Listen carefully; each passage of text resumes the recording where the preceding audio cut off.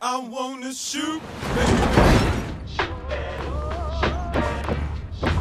Kind of lonesome back here. Little help here. Excuse me. Woo! Dopinder. Pool. Dead. Why the fancy red suit, Mr. Pool? Oh, that's because it's Christmas Day, Dopinder, and I'm after someone on my naughty list. You're probably thinking this was a superhero movie, but that guy in the suit just turned that other guy into a fucking kebab. Surprise! This is a different kind of superhero story. To tell it right, we gotta take you back before I squeeze this ass into spandex. Mr. Wilson, you've recently been diagnosed with terminal cancer. We can fight this. What if I told you we can cure you and give you abilities most men only dream of? I'd say that you sound like an infomercial, but not a good one, like Slap Chop. More shake weighty.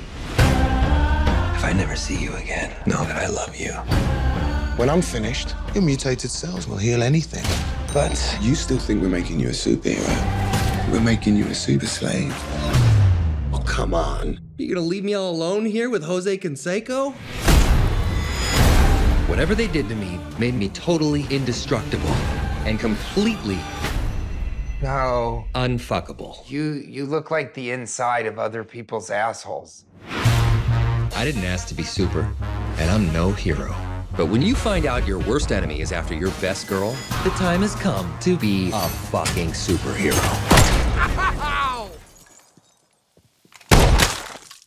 Ah, right up Main Street. Cue the music.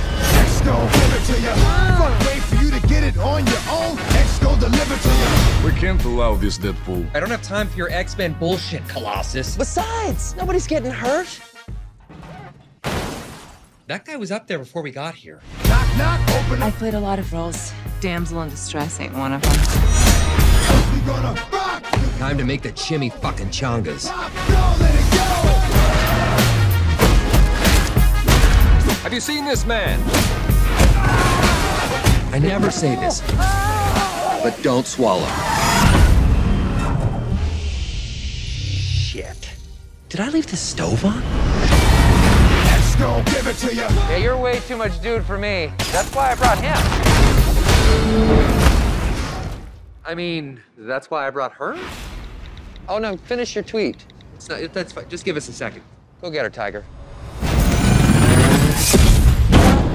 Oh, I so pity the dude who pressures her into prom sex. X gon' give it to ya.